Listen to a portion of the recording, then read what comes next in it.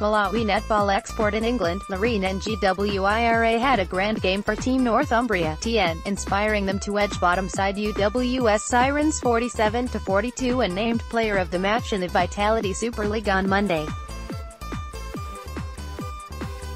And GWIRA inspirational performance earned her player of the match. It was nice to win and I am enjoying my game here, said NGWIRA who made her debut for TN just days before flying out for a holding camp with Malawi national team prior to the Commonwealth Games. The goalkeeper, cum shooter caught TN's attention after starring for the Malawi Queens against England in Test series late last year.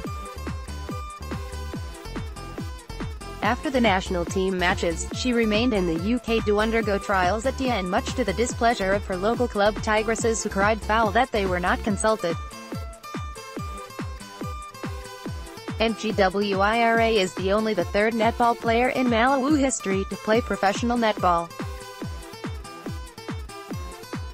He has followed in the footsteps of compatriots, MWAWI Kamwenda, who plays for Melbourne Vixens in Australia and Joyce Mvula of Manchester Thunder in the UK.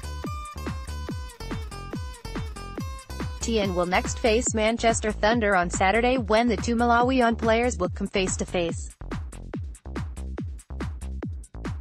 Kamwenda continued to shine at her Australian club Melbourne Vixens when she notched 34 baskets at 100% shooting accuracy at Margaret Court Arena on Sunday to be the game's top scorer as the hosts came from behind to triumph 63-61.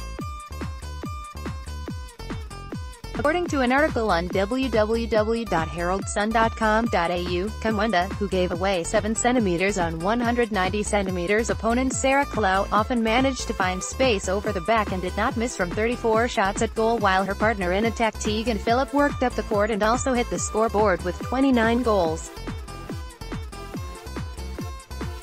Follow and subscribe Nyasa TV. Please share this article if you like email this post.